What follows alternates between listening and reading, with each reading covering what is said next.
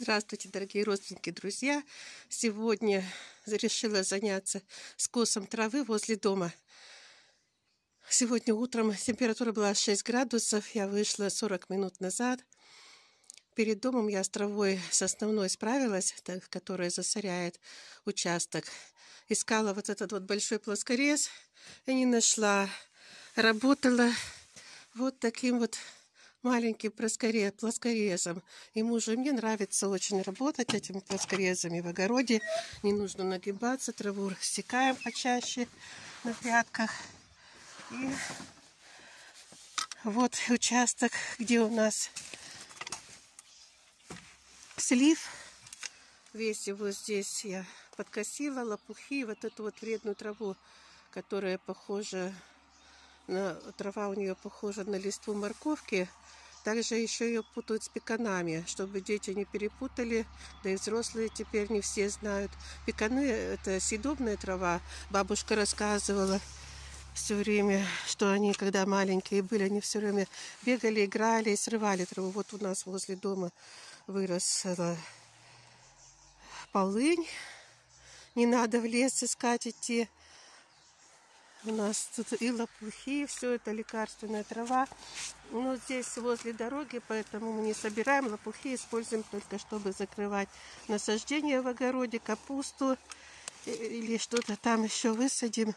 И если жаркая погода, то к э, закрываем этими лопухами. Но они еще вырастут. У меня капуста еще маленькая очень. Сейчас два дня ее засыпала золой, чтобы мошка ее не съела.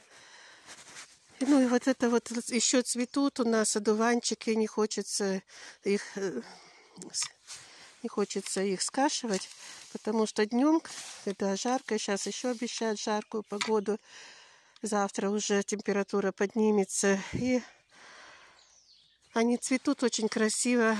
На солнышко не можем на яркое смотреть, смотрим на одуванчики. Вот и пеканы у нас тут выросли, вот такая вот листва у, пеканов. А у этой вредной травы вот такая вот листва. И бывает путают, хотя вообще-то и не похоже. Здесь мелкая, а у пеканов крупные листва. Поэтому пекан пока оставим. Но тут у дороги тоже он как бы несъедобный. Но когда в огороде там у нас, в огороде уже это вот забор надо менять. И ворота надо менять. Ну вот эта вот малина выросшая, как бы она это э, закрывает ворота хотя бы. Тут еще и бревна лежат у мужа. И вот так вот я, ну я двумя руками, конечно, скашивала. Сейчас держу телефон. И крапиву сколько могла срубила. И вот эту вот вредную траву возле дома все порубила. Все ее срубила. Ну, потом снова, конечно, вырастет. Снова нужно будет косить. Муж устает на работе, особенно после четырех операций на почках. Он с работы приходит уже уставший. И ему не до этой травы. Уже вот стараюсь сама ее уже который год срубать. Но не всегда получается. Вот 40 минут поработала. И уже очень сильно устала. А еще трава у нас есть и на огороде. Сныть выросла большая. И там тоже среди кустов возле ели тоже вот эта вот вредная трава, которую нужно срубить.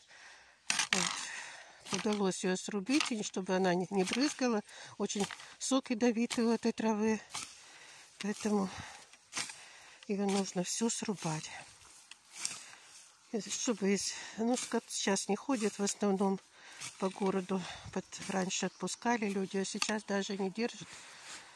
Ну, мало кто держит коров или телят, которые раньше разгуливали по городу. Так как пасти некому, пасти некому, корма заготовлять тоже сил уже не хватает.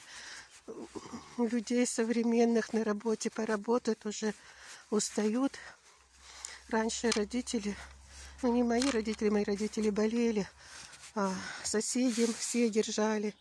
Скот на работе работали. Бывало, что и в полторы смены на заводе работали. И также ездили косить траву на покос.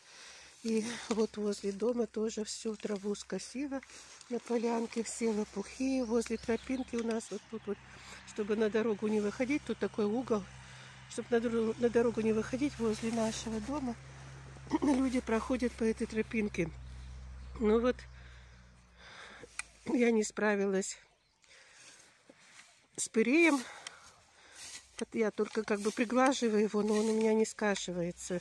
Но муж потом скосит. Он считает, что не надо пока косить траву на полянке, потому что чтобы на следующий год был, была трава росла. Потому что если трава еще не дала семена, тот корней только будет трава расти, она будет уменьшаться на полянке. Но у нас тут как бы дорога, и трава, и растения все защищают от этой пыли, от дорожной, которая, от которой пылится наш дом. Тут вот даже такие желтенькие выросли цветочки, не знаю, как они называются. Мы раньше с бабушкой, с маминой стороны, мамина мама, ходили в лес, и она росла возле болота, большая, крупная, но у нас вот такая вот мелкая. Красиво тоже цветет, уже вот открылись цветочки, у дуванчиков пока не открылись. Также здесь вот еще и еще цветочки другого вида. Вот как бы в лесу я немножко нахожусь, когда полянка тут. Одно время хотелось засыпать всю эту поляну, чтобы, потому что косить сил нету. Хотя бы там у ворот засыпать, где слив и вот скважина, где тоже как-то бы обиходить красиво можно. Клумбочки сделать. Вот тут у нас еще песок строительный лежит, и доски строительные лежат, забор есть из чего сделать новые. Только надо время и силы. Крапива тут вот тоже возле бревен росла.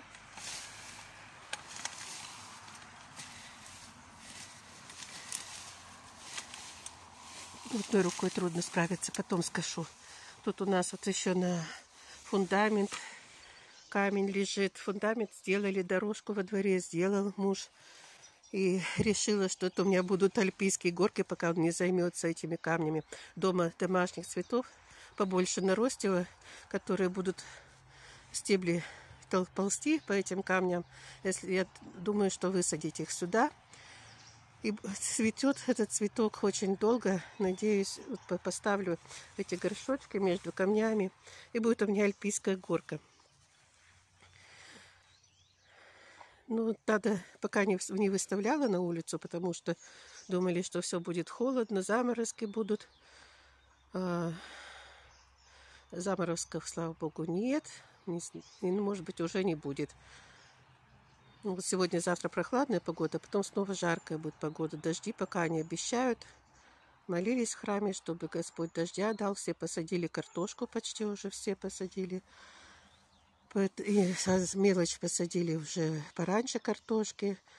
Поливаем каждый вечер.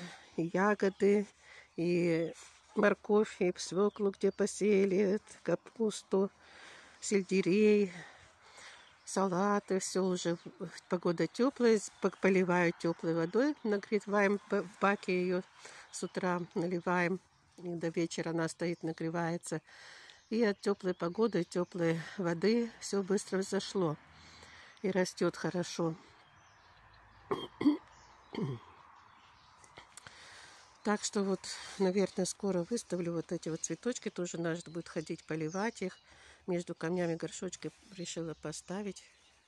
Может зацветут и будет красивая альпийская горка. Малинник нарос у ворот.